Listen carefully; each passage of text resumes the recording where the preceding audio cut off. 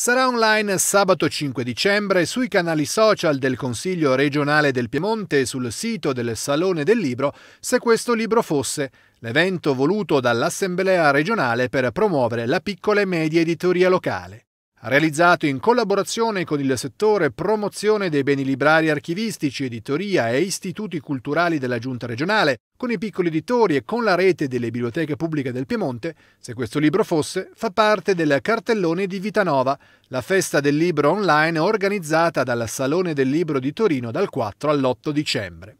Al Circolo dei Lettori una non-stop di letture e approfondimenti coordinata dallo scrittore Giovanni Dal Ponte presenterà al pubblico racconti, romanzi, saggi tra i volumi più apprezzati e richiesti in prestito dai lettori delle biblioteche piemontesi. Quattro minuti per ogni titolo, raccontato attraverso linguaggi diversi, dalla fotografia alla musica, dall'illustrazione alla videointervista.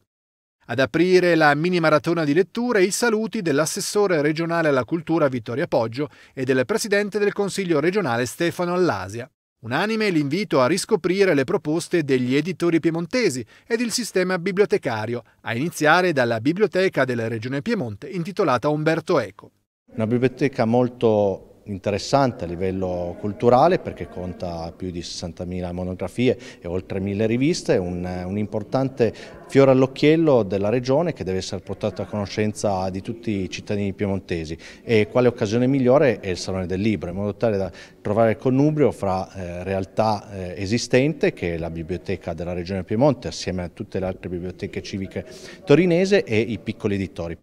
Se questo libro fosse, non è però l'unica iniziativa del Consiglio regionale per Vitanova. Domenica 6 dicembre sarà online il videodocumentario Omegna Rodari, Binomio Fantastico e fino a martedì 8 sui canali social del Consiglio saranno disponibili quattro fotoracconti dedicati al libro cuore tra fiction e realtà.